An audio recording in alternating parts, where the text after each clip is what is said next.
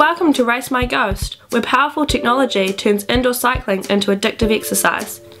Using the Wahoo Fitness iPhone bike case or Ant Plus dongle, your iPhone, iPod Touch, or iPad can receive speed, cadence, and heart rate data from any compatible Ant Plus sensors. The Race My Ghost application turns indoor cycling into a race filled with psychological data that motivates you and allows you to determine your best race tactics. Here we can see the interface. For each race, you are represented as the blue rider. The yellow rider represents your best performance, the red rider represents your worst performance. The green rider represents your average performance for previous races on the same time-based or distance-based track. You will also notice heart rate tabs on the left of each rider indicating their heart rate at that point of the race.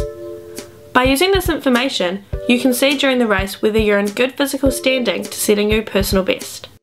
In this example, although you are currently in second place, your heart rate indicates you are in a good position to set a new personal best. On the bar to the right, you have an overview of the entire race.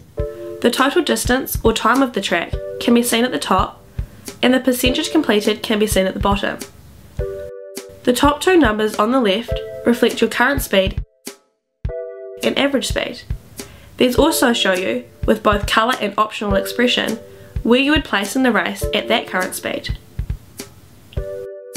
For example, in this screenshot, although you are in second place, if the current speed is maintained at yellow, you will eventually pass the leader and set a new personal best.